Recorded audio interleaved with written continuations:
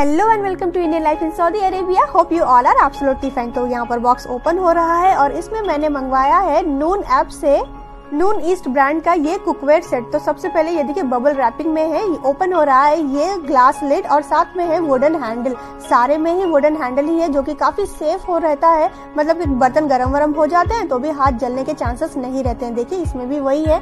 और बॉटम आप देख रहे हैं, काफ़ी थिक बॉटम है। गैस में भी यूज़ कर सकते हैं और इंडक्शन पर भी ये सारे बर्तन काम आ ही जाते हैं। ये देखिए, ये वाला एक और पैन है और इसमें भी ये ग्लास का लिड दिया हुआ है, जो इसमें जो है ना बिल्कुल परफेक्ट आ रहा है। मैंने ये सेट ऑफ़र में लिया हुआ था। वैसे इसका प्राइस 100 टू 150 रियाल्स के बीच में फ्लक्चुएट होता रहता है। अगर आपको भी सेम कुकवेयर सेट मंगवाना है या फिर कोई दूसरा हाउस होल्ड आइटम मंगवाना है नून ऐप से तो मेरा कूपन कोड ज़रूर यूज़ करें एक्स्ट्रा 5 परसेंट डिस्काउंट के लिए।